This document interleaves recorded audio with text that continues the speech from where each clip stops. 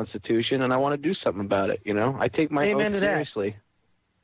Amen to that. Now, now on your on your website, on your website, Tisha, you said you, that you were you were a uh, uh, former military wife or former military spouse. From a veteran, from a standpoint of that, uh, and knowing that that everybody overseas, you know, that we've got so many people everywhere. Um, is there a certain, uh, how shall we say, like a priority for you to do something or introduce some sort of legislation to uh, bring the FERT troops home? And would that be like one of the first things or one of the primary uh, first things that you would try and do when you get into when you get into office if you're elected? Absolutely. Yeah, I think we need to bring our men and women home and have them fighting from here for our own country. And that's something really near and dear to my heart. I really think that a lot of the things going on, including the wars that we're in, are unconstitutional. I think it's impossible to have a war on a subject versus an actual defined enemy with a defined mission and a defined goal and a defined exit time. I think it's dangerous to the American people, and I think that our, you know, our our veterans who have already served and our young men and women who are serving over there now deserve the best because they're giving they're giving so much for our country. And you know it would be my full intention as a as a congresswoman and just as a as a person to to fight for that and be a voice for that because there's there's nothing wrong with having a strong national defense. I certainly think we should have one. And there's nothing wrong with you know bringing these guys home because I don't think what's going on right now is actually protecting the American people. How about immigration? Uh, do we go back to the law and actually uh, follow the law as it's written? Or do we do with uh, like Eric Holder's doing right now? State of Alabama said the federal government is not doing its job, so we are going to enforce it. And uh, and now Eric Holder is trying to uh, has started a federal investigation into uh, discrimination uh, uh, or breaching federal law. What, what's your thought on that? Again, because here's another instance of a treasonous activity, if you ask me. So what's your thought? Yeah, no, I think I do believe that states are stepping up to protect their own citizenry, and I think that's great. Although I think it's very disappointing that the federal government isn't doing its job. There's nothing wrong with immigration when it's legal. But what's happening is that, and the, the truth of the matter is, there's a lot of illegal immigration, and that's very dangerous because you know that means people are coming over not just you know from Mexico; they can come from anywhere, and there are some people coming over here with malintention for our country. So I don't, you know, I, I'm kind of a strong pro- proponent of, you know, of building building that fence, and then at the same time streamlining the process to make it easier for people to come here legally. That's it's blatantly obvious. There's some issues in bureaucracy that are causing part of the problem for people to be able to come over here legally. Let's mm-hmm. simplify that system so that people who want to come and be an American citizen can do that. And I think you need to, you know, go, you need to do two things at the same time. And at the same time, our focus should really be on the economy and, you know, the welfare state and fixing our problems with that because that's what's really driving a lot of this debate in the first place. I tell you what, there there is a lot of problems. Uh, and let me ask you this: one one is you just harped on states' rights, and I, I brought up this as Alabama is is really kind of taking the bull by the horns when it comes to uh, immigration. So, do you believe in a states' right? Or let me let me let me bring this up after the break. Let's go to break, and when we come back, I'm going to ask. Uh, we're going to get states' rights with with Tisha. So don't go away, folks. We'll be right back. You're listening to Freedom Link Radio on the Orion Talk Radio Network and AM 1650.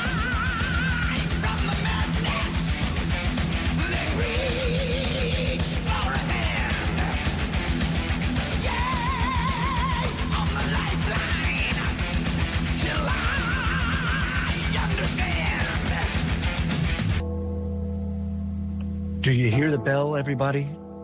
That's the bell tolling for you, Mr. Scott Tipton.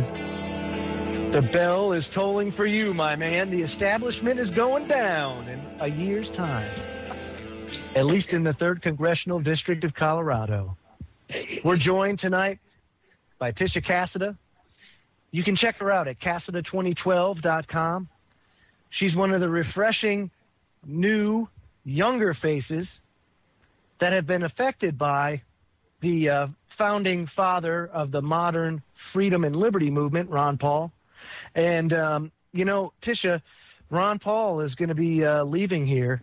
He's not running for reelection. So it's all the more important that we get people in that have uh, this idea of um, small government, of liberty, of freedom uh, in there to be able to carry on the cause.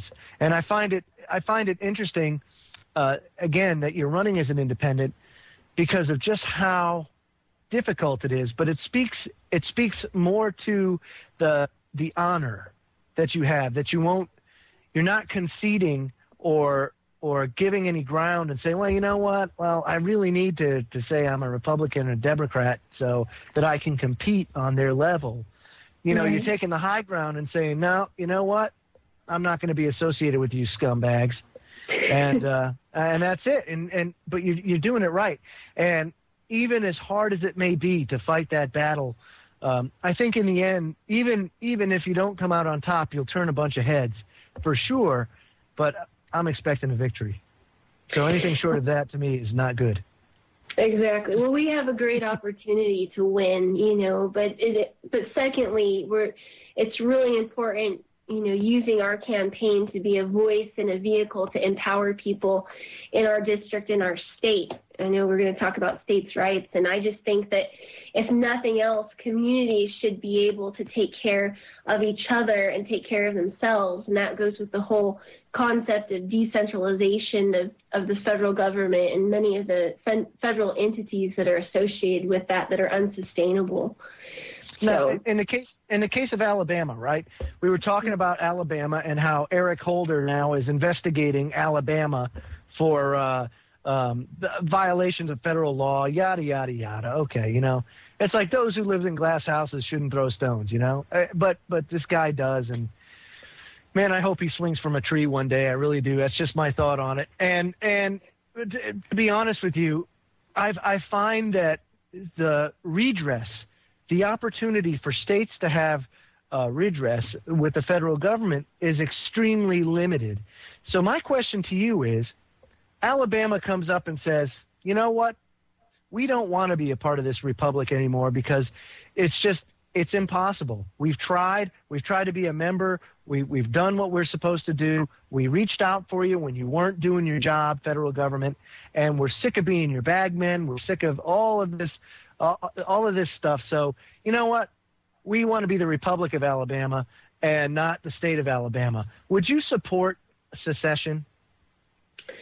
Yeah, I think that that was kind of the intention of our founding fathers that if, if something goes really haywire at the federal level, that states are able to protect their own citizenry.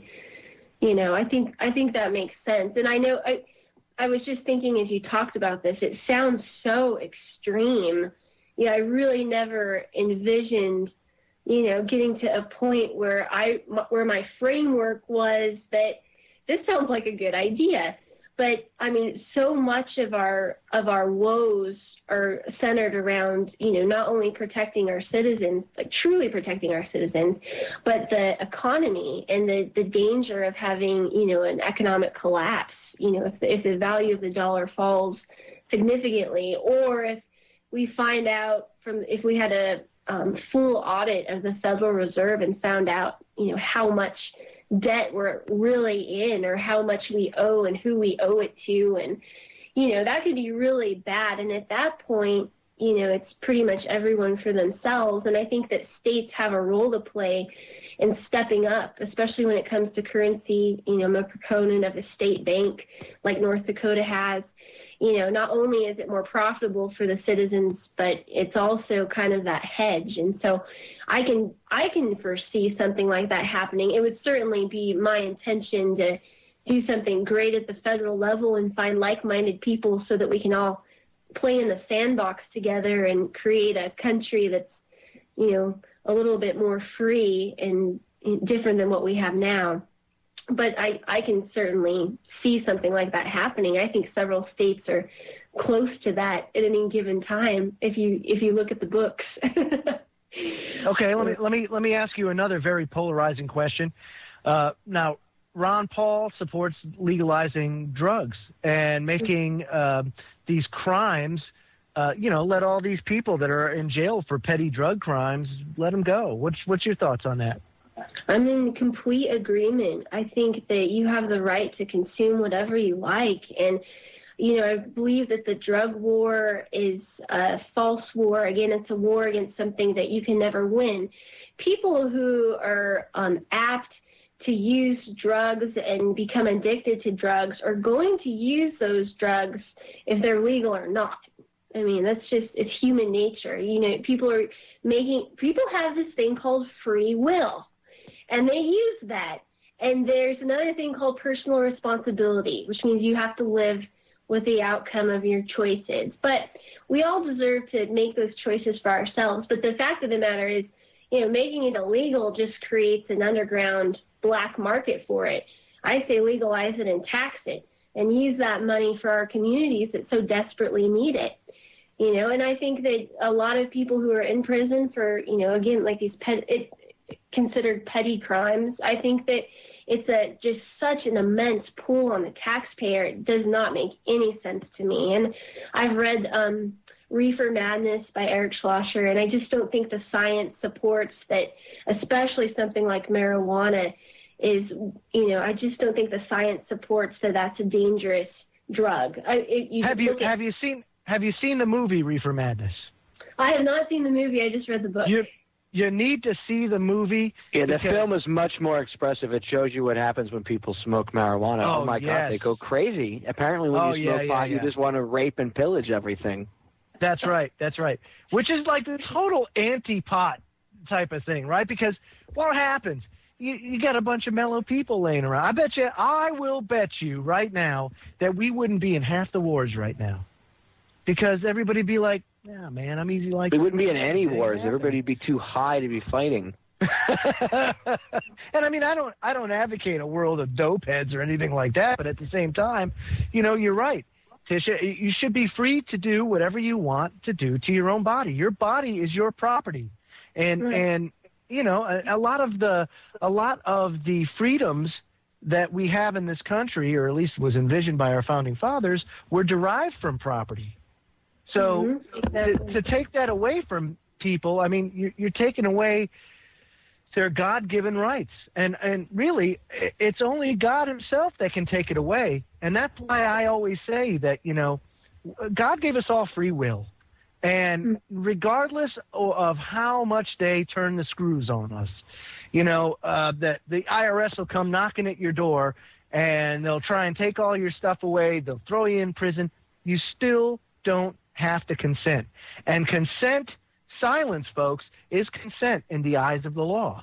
So it's our duty. It's our duty as human beings who live in the United States of America and the world in general and stand up and say no. We do not comply. We don't we don't want this.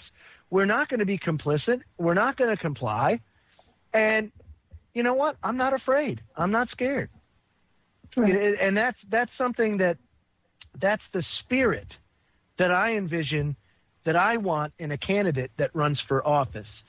And you mm. know, to have that fire in them and not just get there and then get consumed by the the the, the muck and the nastiness and the bleh that's Washington, you know?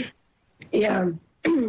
yep, exactly. Well, it's very important. It's it's so important to refresh, you know, our Congress and Senate and the executive branch and I won't even go into the judicial branch. We have some serious problems and it's going to take tenacity, it's going to take, you know, time, it's going to take people willing to, you know, give a lot of their a lot of their of their life, you know, for for the cause, and we need to do it. We don't have a lot of time.